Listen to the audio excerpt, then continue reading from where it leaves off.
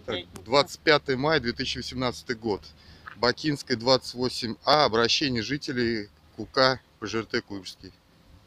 Говорите, что хотите. А, просим провести воду для полива клумб. Вывести, вернее. В, как, в какие подъезды-то?